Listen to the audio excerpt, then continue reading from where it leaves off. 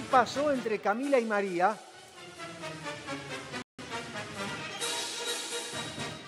Ahí estamos viendo la imagen. Esto es lo que estamos viendo. La imagen, en la salida, digamos, esta es la reunión secreta. No, no, no.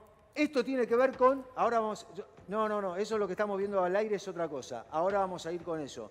Estoy viendo lo que sucede en, en esta pantalla, por eso digo que esta es la imagen de la reunión. Ahora vamos a ir, pero esa es la imagen de afuera. Fede, ¿qué es lo que estamos viendo ahora en la pantalla? No, lo que, estamos, lo que vamos a empezar a contar es una reunión secreta entre Camila y María. Esto se dio el fin de semana, en donde lo principal de todo esto es poner a la hija de Camila en confianza.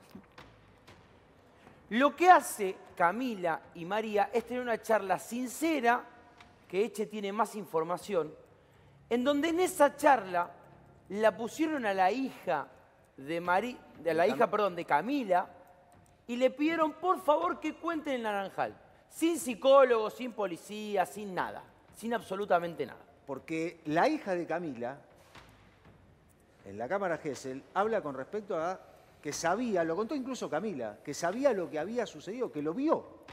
Lo cuenta Camila. Tanto la hija de Camila como el nene J son los que según los vecinos más saben de lo que pasó en Naranjal. Entonces, ¿qué hizo María? Tomó coraje, fue hasta la casa de Camila, agarró a la nena, se sentaron en un cuarto, vamos a hablar qué pasó. Eche tiene más información. Bien, esto tiene que ver con una reunión secreta, lo contaban recién. Esto tiene que ver con una reunión secreta. Cristian, ahora voy con vos. Eh, doctor Biondi, agarrar una nena, la mamá y la, la mamá, Camila y María, ¿esto implica algo o es simplemente para sacar un punto que María dice, a ver qué sabe? Dentro de la desesperación, creo, de buscar, eh, generalmente este tipo de procedimiento hay que hacerlo eh, primero con un especialista en niños que diga que está apto y después por la Cámara GESEL y declarar judicialmente lo antes posible del hecho, no como hicieron en este caso que declararon mucho tiempo después, ¿no? donde pueden estar contaminados esos testimonios. Pero creo que esto que hacen en el cúmulo familiar es dentro de la desesperación y hay que tener a veces mucho cuidado en preservar los menores, ¿no? de no, no complicarles la situación por, por querer ver qué puedan contar. Ya Claro, habrán hablado la desesperación- judicialmente y hay que ver si ese testimonio que dieron en Cámara GESEL tanto tiempo después eh, realmente es eh, un testimonio que no esté influenciado por lo que hayan escuchado. ¿no? Bien, vamos a escuchar a Lidia, vamos a escuchar a Lidia, habla con respecto a una situación importante. Escuchamos a Lidia, Cristian, y después voy con vos, con respecto a lo que contaba recién Fede y lo que decía el doctor. Dale, vamos. Cuando nosotros sal- salíamos el 9 de julio en un lugar, una arboleda, en la salida, digamos, yendo para la casa de la abuela, eh, vemos que venía eh, Antonio Benítez sin remera en, moto- en la moto, ingresando para el 9 de julio. Entonces le digo yo a mi marido, mira Antonio, yo en ese momento yo no sabía que el nene estaba con Antonio, que estaban con los que están detenidos. Yo no tenía conocimiento con quién estaba, porque mi sobrino, mi sobrino no me explicó, me dijo que se perdió en el monte y que se había ido con el papá a almorzar. Bien, ahí estábamos escuchando. Siete detenidos sin ninguna respuesta. Cristian, Fede contaba una situación, una reunión, y vos tenés más información con respecto a esto. Dale. Cristian, estamos en vivo con Así vos, es, Carlos. Bueno, eh, el fin de semana se dio una reunión entre parte de la familia de Loan, donde está María, la mamá de Loan, estaba Camila eh, con su menor. Sí. Eh, bueno, se dio esa, esa reunión, ese primer contacto, que no se daba hace más de dos meses, por lo que había ocurrido. Eh, también es un reencuentro importante. Eh, sabemos que no, todo, no toda la familia Peña estaba de acuerdo en ese encuentro, Sí. pero María eh, y José tomaron el, el coraje, tomaron la fuerza de poder tener un diálogo con Camila, quien hay que, hay que sindicar y hay que decir que legalmente y judicialmente no tiene absolutamente nada en el expediente. Su nombre sí está por haber, haber estado en ese almuerzo, pero en ningún momento fue acusada. Es más, nunca tuvo una, una abogada porque nunca tu- tuvo una posición si fue acusada o no. Eh, ella tuvo una reunión, Camila, con María, con la menor. Sí. Hicieron parte de la, de la caminata, eh, lo que es el Naranjal, hubo una charla ahí.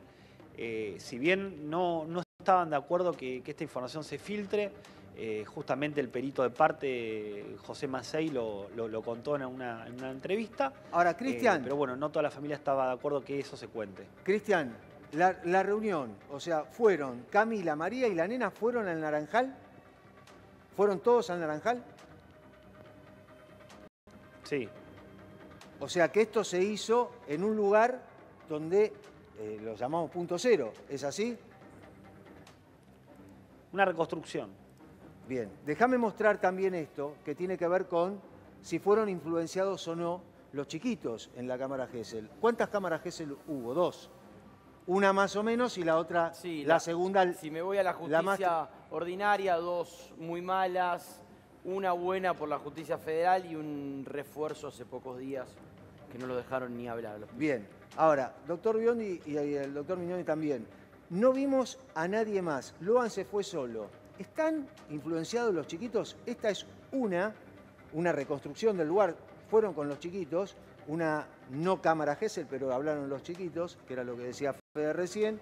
El dibujo del hombre malo, este es un dibujo que hizo uno de los chiquitos que estuvo ahí, y el otro tiene que ver con, vi a un hombre encapuchado que se llevaba a Loan. Esto es otra cámara Gesell, que también lo contaba Fede y lo decía recién Cristian. Ahora, ¿están influenciados, doctor? Yo lo que digo, por lo menos desde el punto de vista de la experiencia, es que cuando pasa mucho tiempo, a veces los chicos pueden llegar a estar escuchando lo que hablan los adultos en, en donde conviven o incluso Sí. este caso con tanta repercusión y puede llegar a haber algún inconveniente que no eh, realmente no, no puedan brindar eh, el testimonio en cámara Gesell de lo que realmente históricamente vivieron. Habría que ver realmente, o sea, la- los tres, las tres, por lo menos los tres relatos que vos ahora me indicás, los tres Sí. son diferentes. Sí, los tres diferentes. y ahora hay otros bueno, tres. Hay otros Eh, tres que hablan prácticamente. Hay una desprolijidad en este proceso realmente terrible, ¿no? Eh, ese es el gran problema que tenemos, porque esto habría que haberlo hecho este, lo antes posible con especialistas que previamente indiquen que estén en condiciones los chiquitos y una cámara GESEL bien realizada que no se repita tantas veces, ¿no? Bien, doctor, No sé qué esto, opina el doctor. en la otra, ¿fueron Yo quiero influenciados? agregarle algo. Yo por lo que me ha tocado casos de homicidios donde hubo cámara GESEL Sí, y con chiquito de 3 a 7 años. sí. Y lo que puedo decir es que cada nene tiene sus tiempos. Necesitan un terapeuta, un psicólogo que esté al lado de ellos. Algunos hablan a los 15 días y a mí me ha tocado casos donde han hablado al año. Entonces cada uno maneja su tiempo por temores, por lo que escuchan, por qué dirán o por las presiones que pueden tener. la O sea que todavía pueden hablar los chiquitos. Todavía pueden hablar, no hay tiempo, cada chiquito tiene sus tiempos. Entonces sí tiene que estar presto un psicólogo para saber en qué momento Bien. ese chiquito Por está en e- condiciones de ir a una cámara Por eso lo que yo digo, que Sí. la primera evaluación es del especialista que indica si está en condición de hacer la cámara GESEL. Si cual. no te dice que no está en condición, no lo puedes hacer declarar. Declararon Evidentemente, Declararon tres o cosas esto no lo hicieron o estaban todos en condiciones, pero Seguro. eso es el procedimiento adecuado. Si no, incluso puede ser nula la cámara GESEL. Bien, Cristian, estamos en vivo con vos. ¿Qué pasa con respecto a la reunión que vos contabas? Esto, María, Camila y la nena. ¿Qué pasa con respecto a lo que se enteró María o lo que habló María con la nena? Bueno, yo, yo quería aclararle algo a los doctores también para, para aportar, porque Sí. nosotros manejamos buena información con respecto a eso, que uno de los, una de las informaciones importantes aportada por uno de los menores fue fuera de la cámara Gesell, fue en un ámbito eh, de la casa, estaba en la casa, en su mesa, con un cuaderno y, y sus, la- y sus crayones, eh, hizo un dibujo y ese dibujo se lo mostró a la mamá y la mamá después lo, lo- lo muestra a la, a la justicia, lo aporta, Sí. un dibujo que después se hizo conocido porque mostraba una situación, un portón, mostraba una persona que eh, era un adulto, un, supuesto encapuchado, y mostraba a Loan llorando. Entonces, eso, ese material, ese contenido fue realizado fuera del ámbito de la Cámara GESEL, en un ámbito hogareño, lo hizo en su casa, se lo dio a la mamá y la mamá automáticamente se lo muestra a sus, a sus consejeros legales, que eran eh, la doctora Cutaya y el doctor Cañete.